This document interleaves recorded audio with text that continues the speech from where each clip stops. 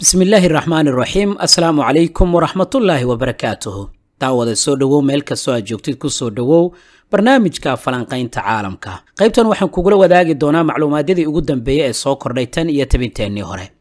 Waa maxay fariinta ay xoogaga iska caabinta ee falastiiniyiinta ay u direen xoogaga xisbullah ee ka dagaalamaya gudaha dalka lubnaan? Muuqaalka soconaya afartan iyo sideedda saken oo ay soo bandhigeen xoogaga iska caabinta ee fariinta loogu diray xisbullah ayaan kula wadaagi doonaa. Sidoo kale waxaan eegi doonaa toogashada ay xoogaga iska caabinta ee falastiiniyiinta ay toogteen ciidamada israa'iil. Maxaa ka dhacay deegaanka bani suxayla dhinaca bari ee qaanyunis maxaa ka dhacay xerada nasarim oo isla koonfurta magaalada kasa ah xoogaga iska cabinta ee falastiiniyiinta guusha ay gaareen? Isku dhaca ciidamada israa'iil iyo dadka shacabka dhex maray kadib markii waxyeelo loo geystay maxaabiist falastiiniyiin ah? Xamaas waxay war ka soo saareen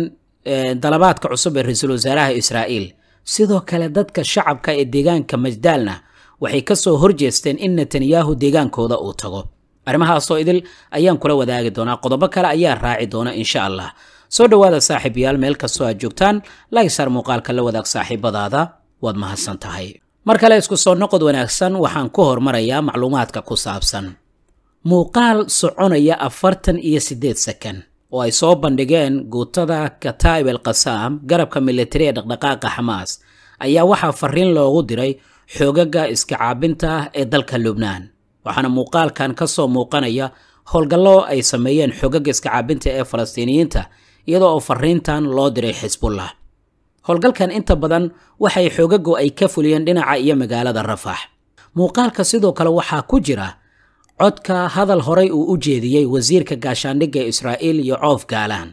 isagoo askar badan la hadlayay horaantii bishan. Waxaana uu askartaas uu ku yidhi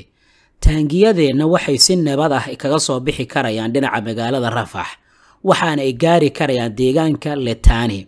waa dhinaca webiga ay u dhexeeya lubnaan iyo sidoo kale israa'iil.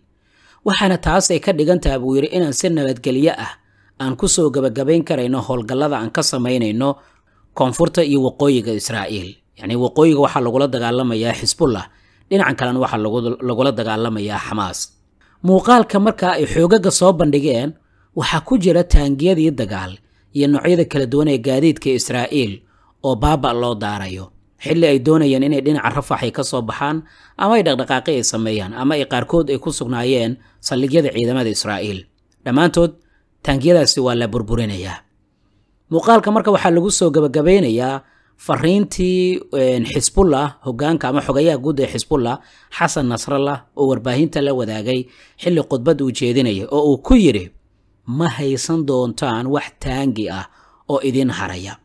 Fariinta xamaas marka sidoo kale waxaa dhexda qoraal lagu soo qoray qoraal ay xamaas ay ku leedahay. Kuwani waa taangiyada dagaal ee ka soo baxaya dhinaca rafax soona aadaya dhinaca lubnaan waxaan rajaynayaa inaad howlgalka dhammaystiri doontaan. Oo xisbullah ayaa fariinta loo diraya. Alcumuum yacnii fariintaas muhiimaddeedu waxay tahay marka taangiyadan gubtay ee la jiidayo ee aan anaga qaarkood baabi'inay ayaa idiin soo socday oo ogaada. Inta ka dhiman howlgalkana dhammaystira. Sidaasi waxaa lagu leeyahay xoogaga xisbullah oo ka dagaalamaya dalka lubnaan. Waxaana fariintaani soo diray xoogaga iska caabinta ee falastiin gaar ahaan al qasaam muuqaalka marka wuxuu u muuqanayaa in ay xoogagu ku soo bandhigayaan awooddooda dhinaca dagaalka ah quusna waxay ku gelinayaan saraakiisha ciidamada israa'iil iyo xubnaha israa'iiliyiinta ee doonaya inay dagaal dhinaca waqooyiga ay ku qaadaan. Iyadoo la ogyahay xisbullah awooddeeda halka gaarsiisan tahay oo ay taya ahaan iyo qalab ahaan ka badan yihiin xoogaga iska caabinta ee falastiiniyiinta. Fariintan marka waad dareemi karaysaa ayay ila taha waxay ula jeedaan xoogaga iska caabinta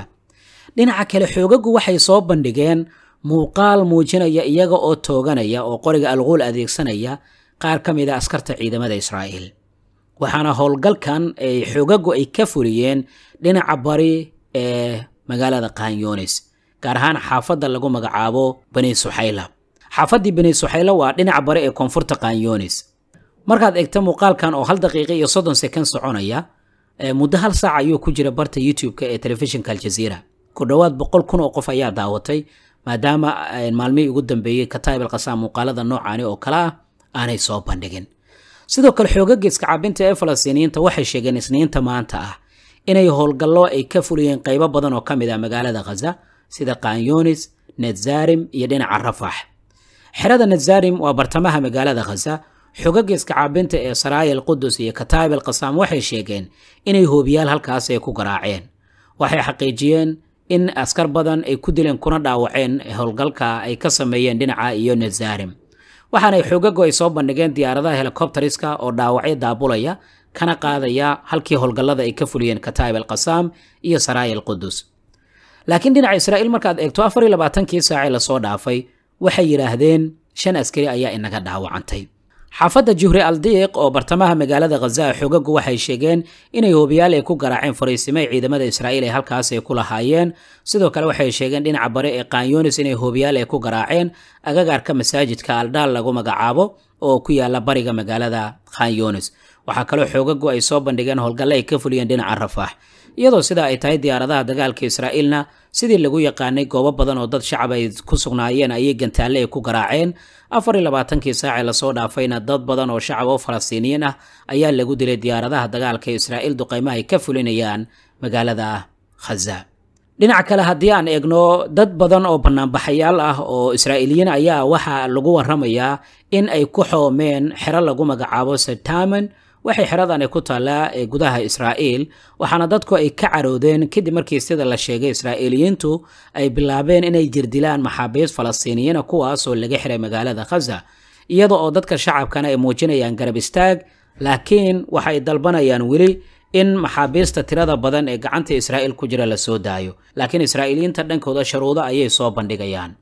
حقوق إسكابنت الفلسطينيين تنادن كذا وحي كوري ما دين هذا الكير الوزراء إسرائيل بنيام من نتنياهو ما دام نتنياهو دون يوحك على إن لقب الدلو وذا هذا الذي هري لوجه الشيء سو جدين تي مدحوينها مريك إن كان نتنياهو مركل أو كوري ما نيا حقوقنا وحي تاجين أن ناجو مرنبا ما أقبل دونه إن وحك على كسي بدلنا هالشيء كما دام مركي هربا أن نقلني كوا وحبذا أقبلي أو قاركود كتنازلي qodobadii hore loo soo jeediyay. Arrintan waxay ka dambeysay kadib markii kulan uu ka dhacay magaalada rome oo dalka talyaaniga ah kulankaas oo yeesheen taliyaha hay'adda sirdoonka ee maraykanka william panis taliyaha hay'adda sirdoonka israa'iil david barni wasiirka arrimaha dibadda ee dowladda qatar ahna ra'iisul wasaaraha dalkaasi sheekh maxamed bin cabdiraxmaan al thani iyo taliyaha hay'adda sirdoonka ee dowladda masar cabaas kamil. Ugu dambeynna dadka shacabka ah ee degan ee deegaanka lagu magacaabo madaal shamis ayaa gebi ahaanba waxay ka soo horjeesteen qorshe ra'iisul wasaaraha israa'iil benyamin netanyahu uu doonaya inuu halkaas ku tago. Halkaa waxaa ka cad marka gantaalkii dhowaan ku dhacay xeradan madaal shamis lagu magacaabo ama garoonkii halkaa ku yaalay in ugu yaraan israa'iiliyiinta ay doonayaan inay siyaasadeeyaan kana faa'iidaystaan fursadda halkaa taalla. Ra'iisul wasaaraha halkaasi ugu dambeyn waxaa lagu waramayaa in tagay isagoo doonaya inuu dadka yidhaahdo ugu yaraan qalqal ayaa amnigeena la gelinayaa annaga xaggeena soo aada. Inkastoo dadka shacabka ay ka soo horjeesteen in netanyahu halkaasi uu tago haddana netanyahu maanta waa uu gaaray deegaanka majdaal shamis lagu magacaabo laakiin waxay soo qaateen boorar ay ku xardhan yihiin qoraalle ay ka mid yihiin waxaa tahay dembiilo dagaal kuma doonayno ha ka soo qaybgelin aaskeenna ugu dambeynna wuxuu ubax dhigay goobtii lagu aasay dhallinyaro iyo carruur badan oo ku sugnayd deegaankan. Xilli kubadda ay ciyaarayaan gantaal uu ku soo dhacay. Waxaana u badan tahay gantaalkaasi inuu habab yahay. Sidoo kale wasiirka amniga gudaha itamin bengever ayaa lagu yidhi nooga taga halkan fadeexad weyn ayay la kulmeen. Nooga taga halkan adinkaana xasuuqay. Yani waxyaa erayo noocaasi oo kale ah ayaa lagu yidhi wasiirka amniga gudaha israa'iil itamin bengever ninka lagu magacaabo. Waxyaabaha ka soo kordha barnaamijyadeenna kale ayaan kugula wadaagi doonaa insha allah haddii uu qarxo dagaal weyn oo u dhexeeya labada dhinac xisbullah dhibaatada ugu badan waxay uga imaan doontaa duqeymaha dhanka hawada ee diyaaradaha dagaalka ee israa'iil gaar ahaan awoodaha dhinaca teknolojiyadda waa cabsida ugu weyn ee ay qabaan dadka shacabka ah.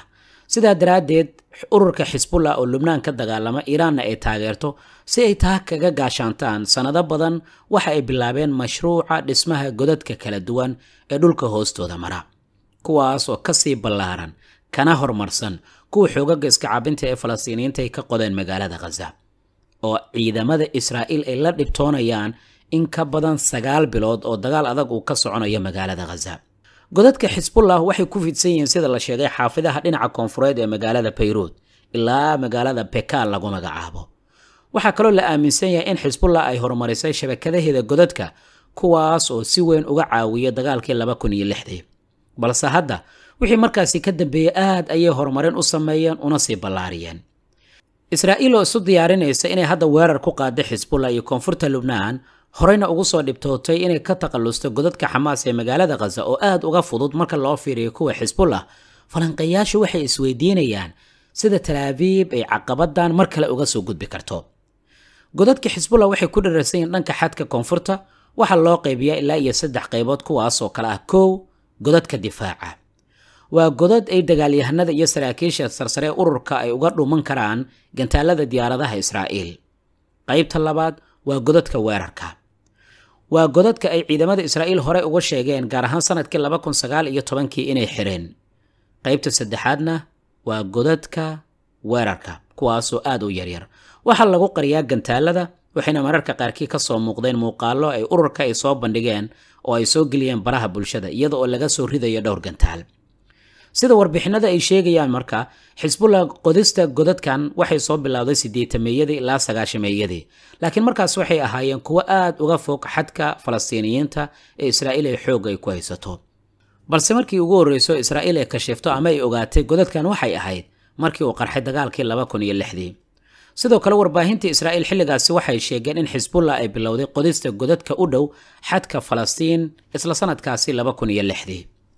israa'iil waxay ka feejigantaha godadka weerarka oo ku fidsan ilaa xadkeeda taas oo ku qasabtay laba kun iyo siddeed iyo tobankii inay bilowdo ololo lagu burburinayo godadkan.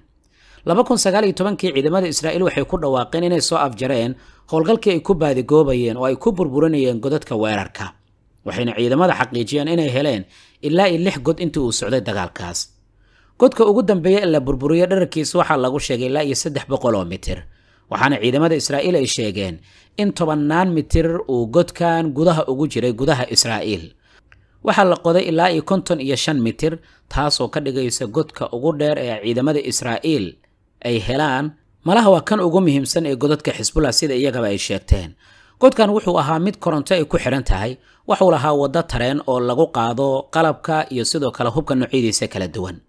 laba kun iyo labaatankii wasaaradda arrimaha dibadda ee israa'iil oo ay ka qayb qaadanayaan ciidamada israa'iil ayaa waxay soo qabanqaabisay socdaal laba iyo toban diblomaasiyiin ah oo ka socda waddamada xubnaha ka ah golaha ammaanka ay ku marayeen xadka waqooyi ee lubnaan si ay u tusiyaan godadka muhiimka ah ee ay halkaasi ka heleen. Laakiin godadka dhulka hoostiisa mara ee isku xidha lubnaan iyo israa'iil ma ahan kuwa keliya ciidamada israa'iil ay ku qiyaaseen inuu samaystay ama ay sameeyeen xisbullah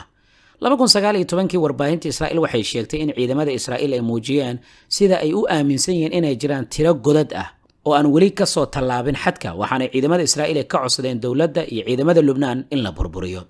Warbixin ay soo saartay xarunta cilmi baarista ee alma ayaa lagu sheegay kadib dagaalkii lubnaan xisbullah inay bilaabeen qorshe difaac si ay kaga hortagaan weerar kasta oo suuragal oo israa'iil uga yimaada iyadana waxay bilaabeen dhismaha godadka ay ku qalabaysan yihiin teknolojiyadda casri ah oo dhulka hoostiisa mara godadkan waxa ay sameeyeen sida la sheegay ilaalin dhulka hoostiisa ah waxay saraakiisha ciidamada iyo sidoo kale qalabkoodaba ka ilaaliyaan bambooyinka culus oo ay soo ridayaan diyaaradaha dagaalka israa'iil. Marka laga soo tago labadii nooc ee hore ee godadka aan ka soo hadalnay warbaahinta xisbullah waxay daha ka qaadeen nooc saddexaad kaasoo ah tuneello ama godad loogu talagalay in lagu qariyo lagana soo rido gantaalada ridada dhaadheer ee dhulka hoostiisa mara. Bishii hore ayaed markii warbaahinta xisbullah ay soo bandhigtay warbixin ka hadlaysa sida godadkan ay ugu adeegsadeen inay ku qariyaan kana soo ridaan gantaaladooda. Waxaana muuqaalada ururka xisbullah ay soo bandhigtay ka mid ahaa mid ka mid a godadkan oo gantaal weyn uu ka soo baxaya taas oo loo fasiran karo fariin ku socotay gumaystaha israa'iil iyo nooca uu noqon karaya dagaalka sugaya haddii ay isku dayaan inay lubnaan ay soo weeraraan sidaa oo ay tahay israa'iiliyiintu hadda waxay ka fakarayaan qorshe lagu kala qaybinayo xisbullah iyo maamulka dowladda ee lubnaan ka dhisan. Oo qaarkood waxay taagan yihiin israa'iil waxay noo ballanqaaday inayna soo weerari doonin xisbullahna nama matasho halka kuwa kalena ay taagan yihiin xisbullah ayaa ina matasha dagaal kastaana qayb ayaan ka nahay. Maxaad ku kordhin lahayd? Qaybtoos aragtidaada ku reeb waad mahadsan tahay